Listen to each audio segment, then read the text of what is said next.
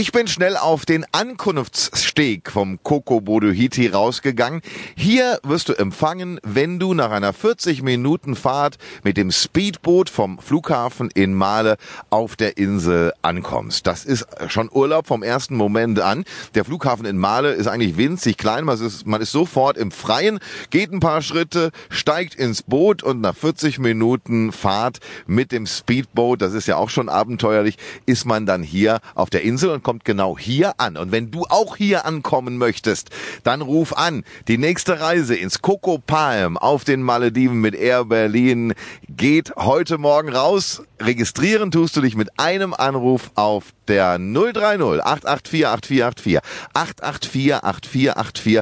Ruf an, egal ob besetzt oder Freizeichen, du bist in der Lostrommel mit einem Anruf. Viel Glück!